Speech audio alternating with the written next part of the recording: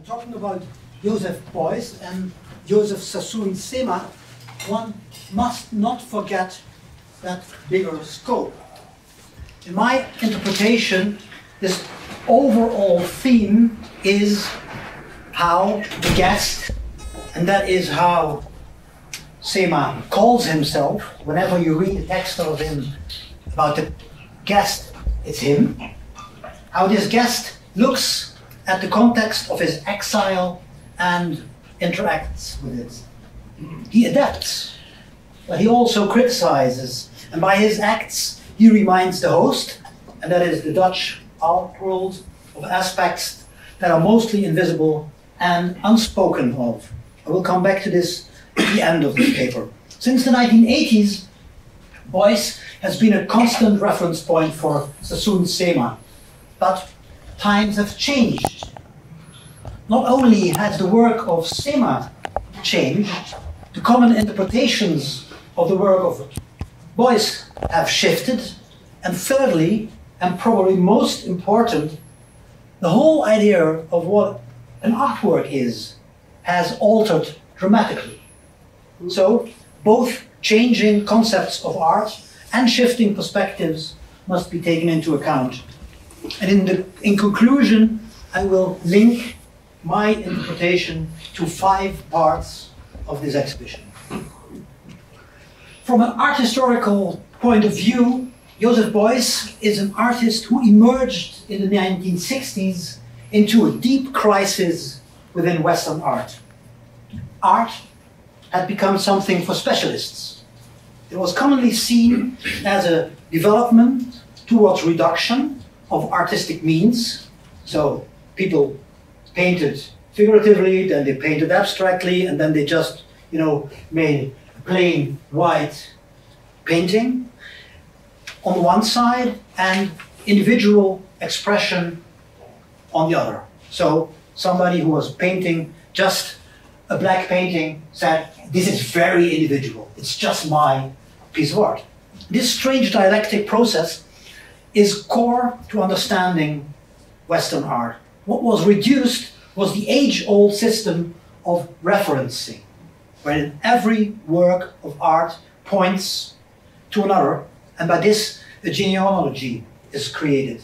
And Joseph Semah, and that is very important for the way he works, does something different because he is constantly referring to things. It always means something. The availability of photography dramatically increased possibilities as artists from New York knew what was going on in Paris and vice versa, even if they had not seen it live. But the funny thing is then, instead of acknowledging the exchange over Rhine and Atlantic Ocean, the process went to another direction, focusing on the autonomous individual oeuvre of the artists. Here you see the Grauballemann from Beuys. Following Arte Povera, and most of all French Nouveau Realisme that had a strong impact on artists in the Rhineland, a new sculpture developed. Instead of traditional materials, bronze, stone, or wood, everything could become sculpture. Beuys is one of the artists experimenting with this. This process opened up enormous possibilities for art, but on the other hand, the question what is art and why became less easy to answer. And it all ended when everything the artist produced could become art, because the artist produced it. Objects were combined, and instead of the old fashioned question about form, new narratives developed. Within this framework, Beuys holds a very special position. First of all, his art was not anti art, but it was old fashioned with new means. It was about esoteric content.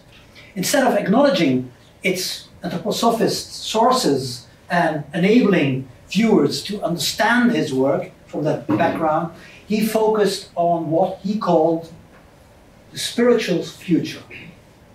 In this spiritual future, so his claim, his work will be understood. It is as simple as this. And it demonstrates the deep esotericism of this artist. His work points towards salvation. Most people understood that in a political sense, as an overcoming of capitalism, but Beuys meant it on a spiritual level. So, in the case of this famous object, Beuys later pointed out that for him, three levels of the human being were embodied in it thought, feeling, and willpower.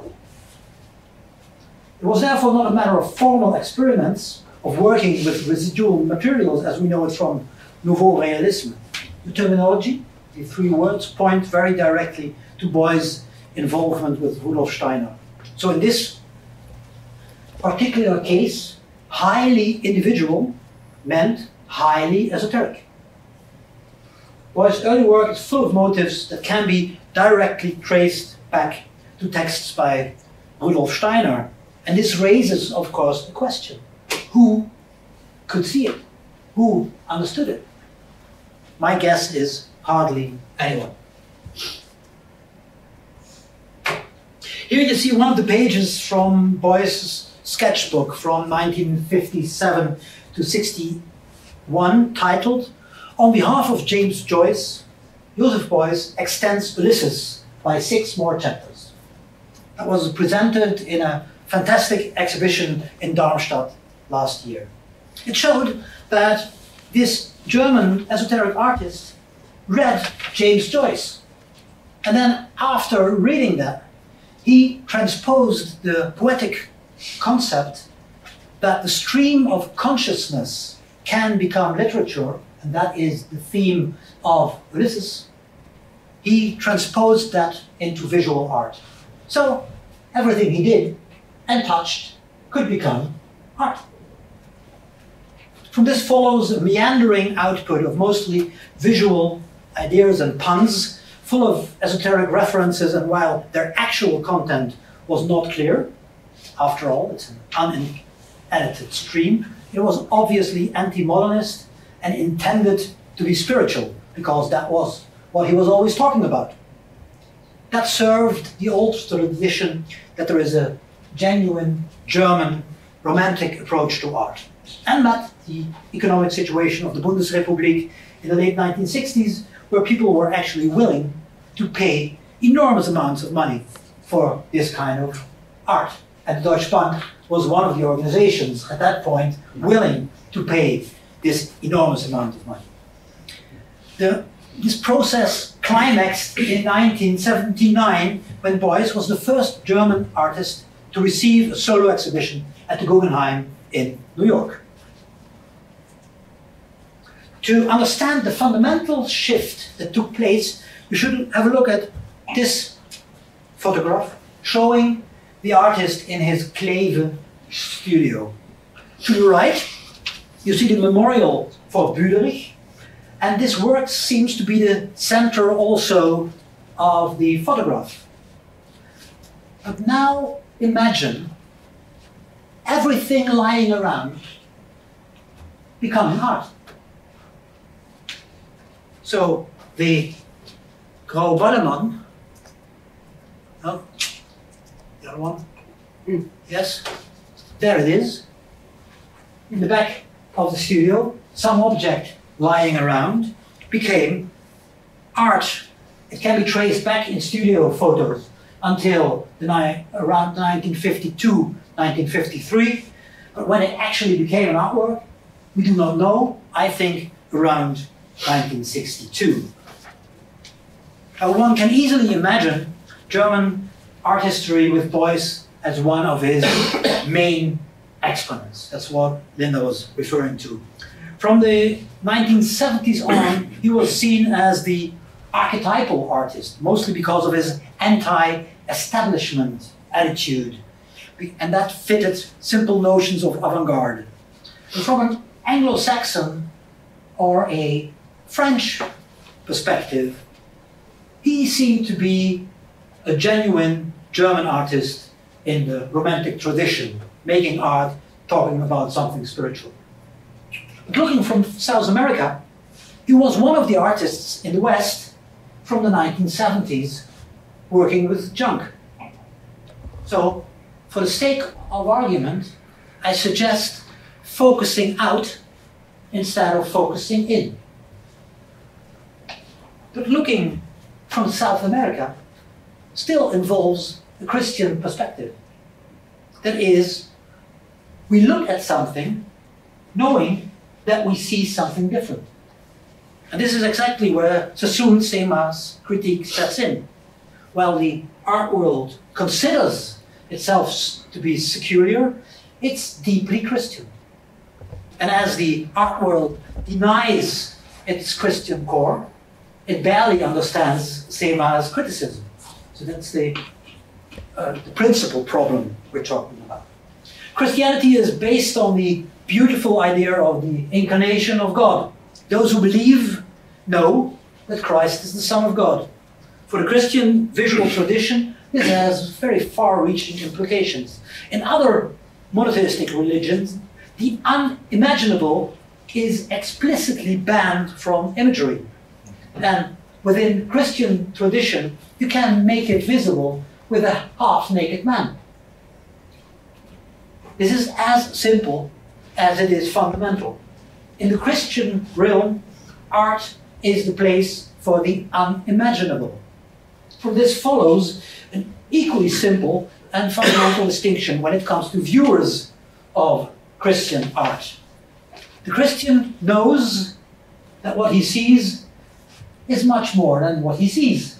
He sees something hanging from a cross, it's God. Wow.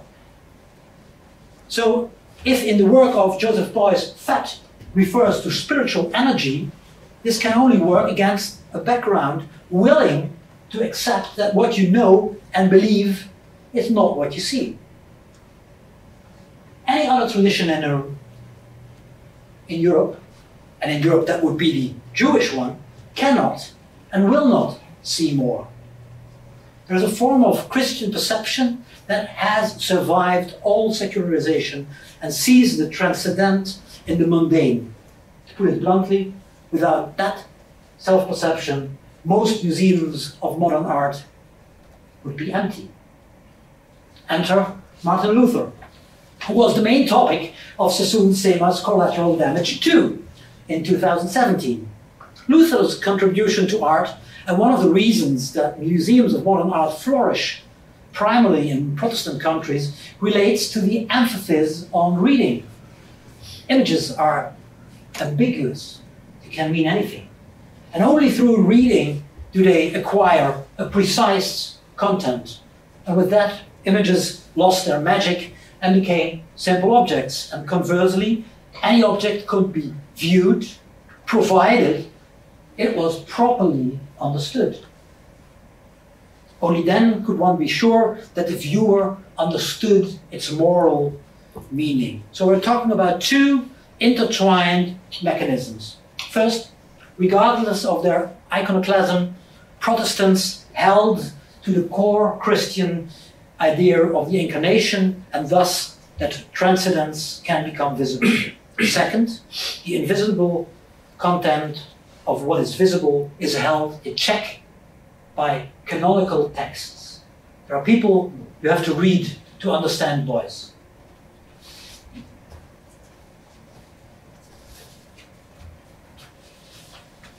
And here it becomes interesting for the few art historians here, as there is no modern artist where the iconography and symbolism has been so deeply researched as Joseph Beuys. Every visual or textual clue or trailer he gave has been interpreted endlessly. So there is something like the Joseph Beuys universe.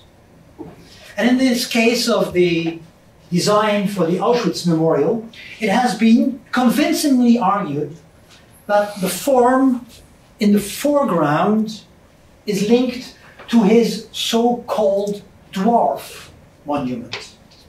Das Zwergendenkmal. And in this universe, dwarfs are actually creatures that know the powers of nature and crystals, and they are digging in the mountains for beams of energy. Beuys planned this Auschwitz monument different from this photograph that only shows the sculpture and one of the two forms thought to frame the railroad. So you have the Beuys universe, and in this everything can have meaning and refer to the transcendent, as long as the, I would call them, guardians of the threshold approve. And while in Rudolf Steiner's thoughts, these guardians were barriers to reach and overcome in search for spiritual enlightenment and karma, in our mundane art world, they are the art historians claiming to guard the flame, the priests, or should we call them the scholastics, who know all the texts about Joseph Beuys. One can easily criticize these mechanisms that they apply for contemporary art as a system. And Sassoon Semah, coming from a Jewish background, gives another perspective. But before we go there, we should think a moment about the dwarfs and Auschwitz.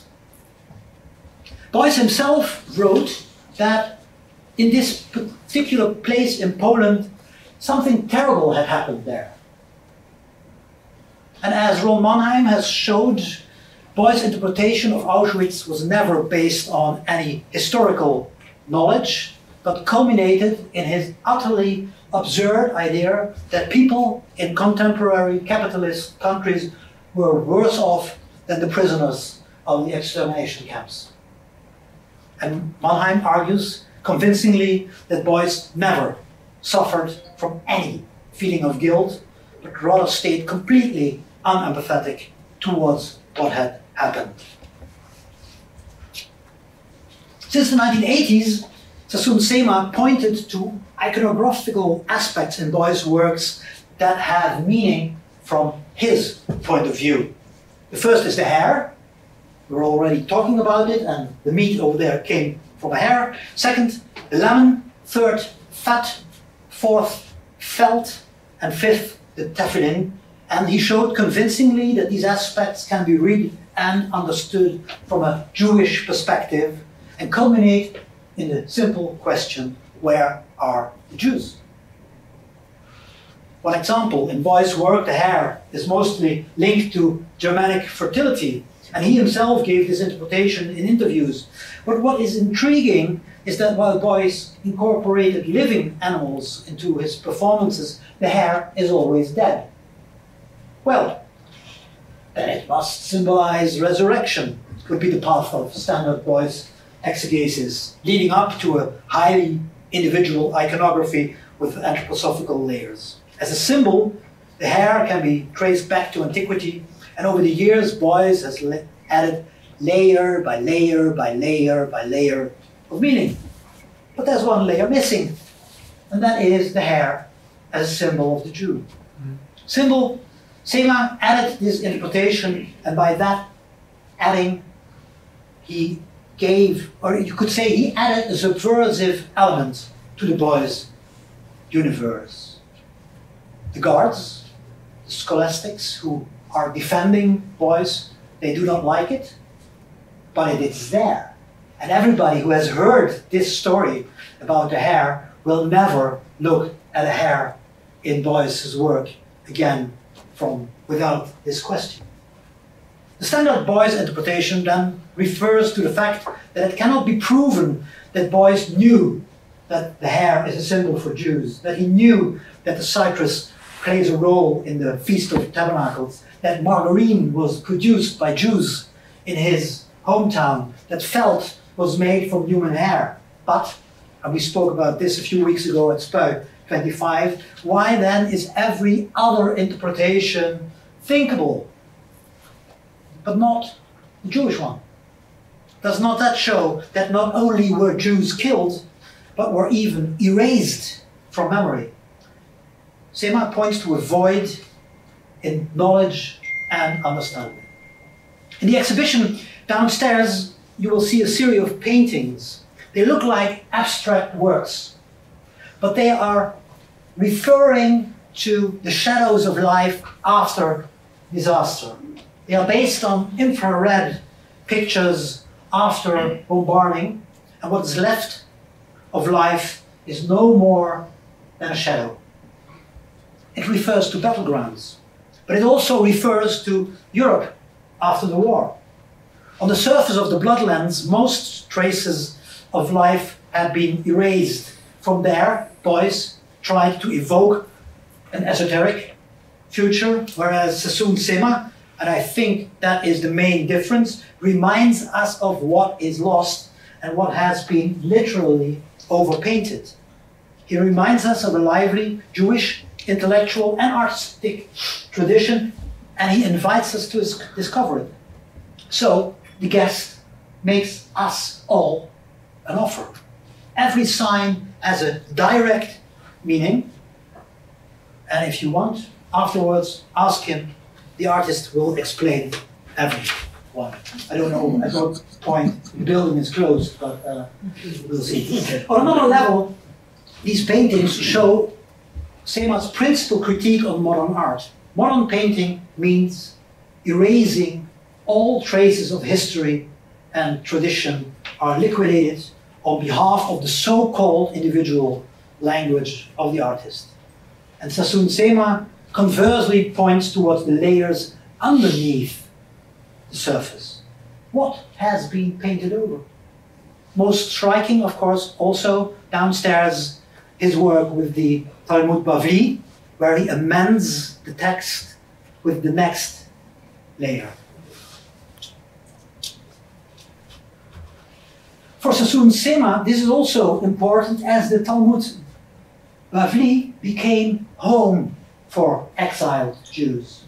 And if Beuys stated Kunst ist Kapital, which has some extra meaning, of course, in the building of the Deutsche Bank, Semah reminds us that cultural traditions can and should be assessed as capital.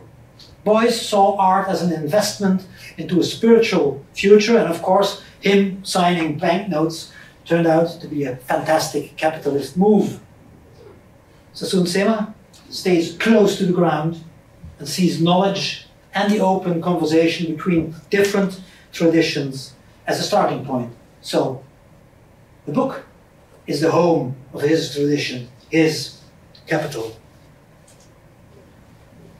This is a sign you have seen, and it comes directly out of a work by Joseph Beuys. Preparing his installation for the Vienna, uh, Venice Biennale in 1976, Beuys showed a cross section of the railway, the tram railway in his hometown, Kleve. He took objects from his use, had them cast in bronze, and would call it a monument to the future. Semah links this work to Auschwitz, and by this artistic intervention, he reinterprets this famous sculpture and void within the work. It looks like a strange letter, and Sassoon Semah takes its forms and puts it on two horns over there, probably referring to the altar for burned offerings from the Bible. But the visual idea is, of course, that when you look at the cross section of a railway, you are looking to where it's leading. Here you see the, on the left, the original tram stop that was in Venice in 1976, and the later version, one is in Kröller-Müller in Otterlo, that Beuys decided to always be presented lying. For Beuys, this work was about the direct perception of a pile of material, and there is, of course, extensive literature in its meaning. In Sassoon's Semah's drawings, you will see elements from this installation combined with the imagery of Auschwitz and the Holocaust. Hmm. By this, he adds footnotes to the work of Beuys. And while the interpretation of tram stop is mostly very indirectly linked to World War II, it is something with the atmosphere.